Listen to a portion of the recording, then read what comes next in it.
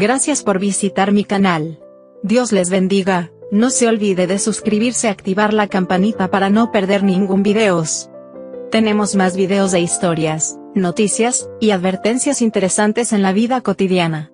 Gracias por su apoyo y por compartir bendiciones. Cuando Maddie nació no le daban mucho tiempo de vida, pero así está nueve años después.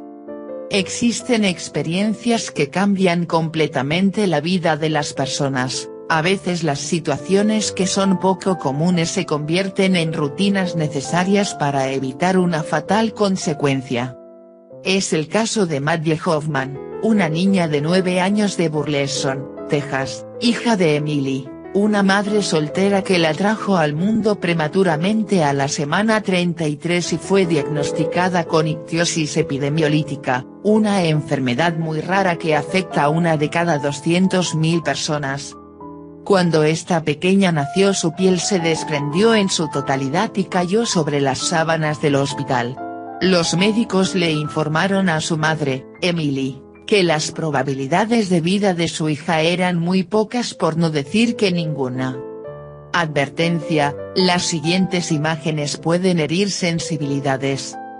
Fue ingresada en la unidad de cuidados intensivos, para su aislamiento y así evitar que se contagiara con una infección mortal. Maddie tuvo que mantenerse hidratada y libre de alguna infección por lo que la colocaron en cuarentena y solo sus padres podían tener contacto con ella usando mascarillas y guantes. Después de un poco más de un mes fue dada de alta del hospital, su madre tuvo que adaptarse rápidamente a la exhaustiva rutina cutánea de su hija. Frecuentemente ella es confundida con una sobreviviente de quemaduras debido a la apariencia rojiza de su piel. Su piel crece 10 veces más rápido de lo normal. Maddie es realmente una guerrera que ha logrado desafiar los pronósticos de los médicos desde el mismo día de su nacimiento. Ella lucha cada día para vencer la condición de escaldadura mortal que le causa un crecimiento acelerado de la piel causando una severa resequedad que limita su movilidad e incrementa el riesgo de contraer una peligrosa infección. La vida de Maddie se mantiene cada día al borde de la muerte a causa de esta terrible enfermedad. La ictiosis epidemolítica, ocasiona el aglutinamiento de filamentos de queratina en la piel por lo que tiene un color rojo y ampollas severas. Los bebés que nacen con este trastorno carecen de la protección de una piel normal y están carentes de una buena hidratación y propensos a infecciones. Los síntomas suelen mejorar a medida que incremente la edad del paciente. La formación de ampollas son cada vez menores y la piel es menos gruesa. No hay una cura para esta enfermedad. El tratamiento consiste en hidratación de la piel y fisioterapia para mejorar el movimiento. Esta pequeña no solo se enfrenta a todos los síntomas y dolores de este padecimiento, también sufre de crueles burlas por parte de algunos estudiantes de su escuela que sin mostrar algún tipo de consideración juzgan su apariencia y olor inusual. Su enfermedad es para ellos un motivo para intimidarla y bromear. Maddie vivió su infancia con una piel muy escamosa, afortunadamente su tratamiento ha mejorado su condición. Su madre considera que el lavado diario ha ayudado a mantenerla viva. Emily también padece ictiosis, se ha dedicado al cuidado y atención de su hija a tiempo completo. Maddie padece esta enfermedad en una forma mucho más severa y requiere un tratamiento muy agresivo y doloroso. Debe ser hidratada de 2 a 3 horas. Antes de cumplir con esta rutina la piel es blanca, extremadamente seca, muy escamosa y le pica mucho. Sin esta rutina de cuidado ella no sería capaz de caminar. La acumulación de piel la hace muy gruesa, con un mal olor y puede causarle la muerte por una infección. Su peor enemigo es la acumulación de escalamiento, ya que esa condición no solo le incrementa la probabilidad de sufrir infecciones, sino que le impide doblarse o moverse. Cada hora que pasa su piel se vuelve más gruesa y le es más difícil moverse.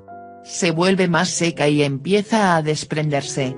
Realmente hay días que no puede moverse.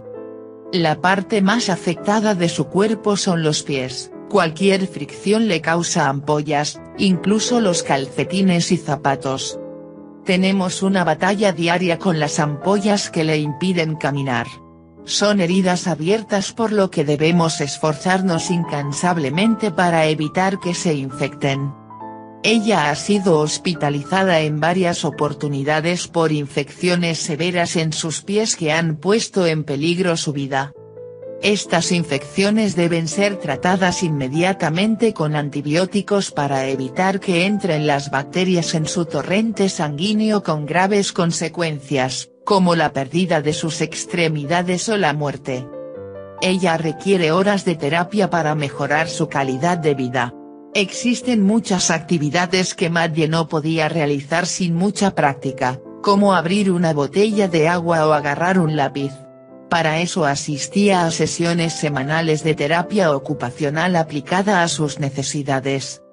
A pesar de todo, ella expresa su valentía en sus videos porque quiere crear conciencia y ayudar a los niños en general a estar motivados y positivos. Tratamos de enseñar a otros que está bien ser diferente y ser muy feliz. Su madre comentó que es muy difícil percibir que algunas personas la miran con disgusto. Es muy desalentador y es por eso siempre abordan el tema en las distintas conversaciones. La intimidación es un gran problema para ella, son muchas las miradas y burlas a las que se enfrenta cada día. Los niños se ponen nerviosos cuando se percatan de la condición de su piel no solo por su apariencia sino también por el olor causado por el espesor de la piel. Maddie a pesar de lo que está pasando, es una niña muy feliz y positiva que ama ayudar a los demás.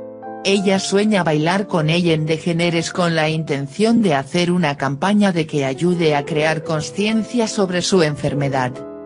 Emily comentó que el tratamiento de esta enfermedad supera sus posibilidades económicas, ya que la asignación por discapacidad le fue negada, por lo que decidió recaudar fondos para poder cubrir el cuidado de su hija. Realmente cuidar y atender a Maddie y a otros niños no es tarea fácil para una solo persona. Comparte la historia de Maddie, una guerrera que no se ha dejado vencer por la dificultad de su experiencia y es un ejemplo para el mundo. Gracias por su tiempo y atención. Si tienes preguntas o dudas acerca de este video, puedes dejarnos sus comentarios. Gracias por compartir este video. Muchas bendiciones.